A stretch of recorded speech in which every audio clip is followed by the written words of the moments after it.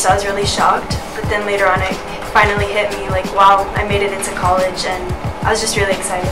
I jumped out of my desk and I said, finally, because it was a, a weight off my back. But as soon as I said that I got accepted into college, they wouldn't even let me finish. They were just like screaming over the phone, and when I told them, they were just like crying and like so excited for me. My mother, especially my mother, she she was crying, tearing on the floor. She was telling me, thanking God, like all the effort that I put in, because she's the, really the one who who looks at what I've done and the responsibility that I had to carry on behalf of my family and my last name as well as my father. My father was very proud of me.